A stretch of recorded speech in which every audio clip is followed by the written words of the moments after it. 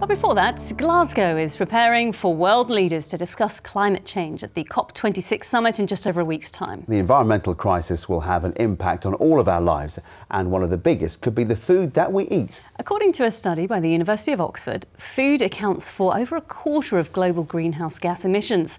In the first of a series of reports, Raveena Ghattaura looks at how we may have to adapt our food production to be more environmentally friendly.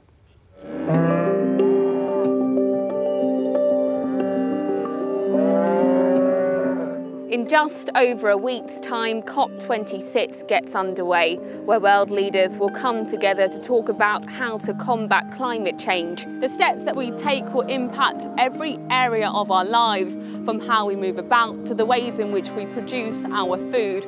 But have we got that appetite for change?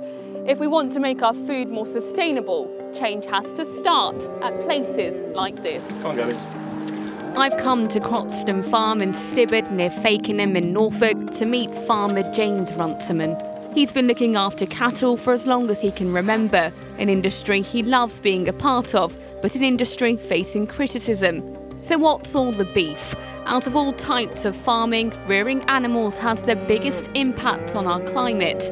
Experts say livestock are responsible for almost 15% of global greenhouse gas emissions, but James says he's worked hard to make his farm more sustainable. We're grazing ancient permanent pasture, we're capturing carbon. It's all very well telling us we've got to get rid of livestock, but if we're going to replace this, this brilliant protein with imported or man-made proteins, that is going to have a bigger effect than producing beef that is natural and sustainable.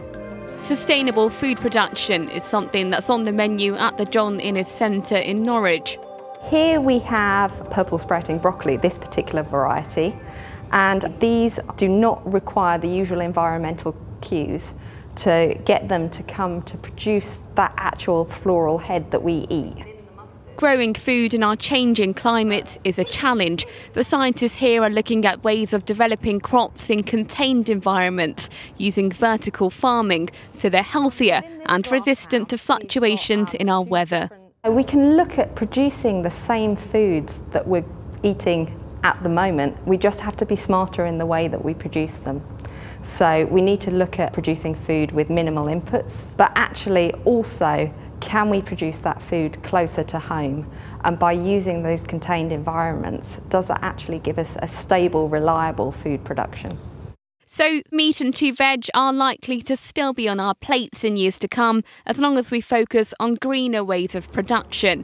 One of those hoping to get that message to future generations is Matt Willer. And this has spent all summer growing.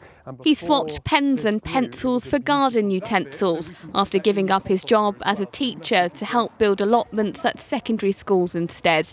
Among the 20 projects he's involved in is this one at Thorpe St Andrews School in Norwich. This is about inspiring the next generation to at least be aware of where their food comes from because if we can all grow food like this, it will make the world much more sustainable. And that's the example we're trying to set, reducing our carbon footprint. And so from the charity's point of view, this is the future.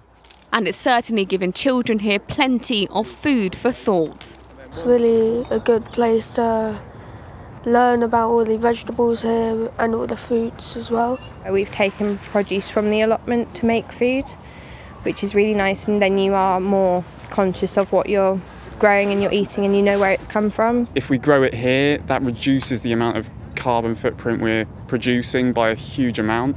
So if we can grow everything locally, then that's brilliant.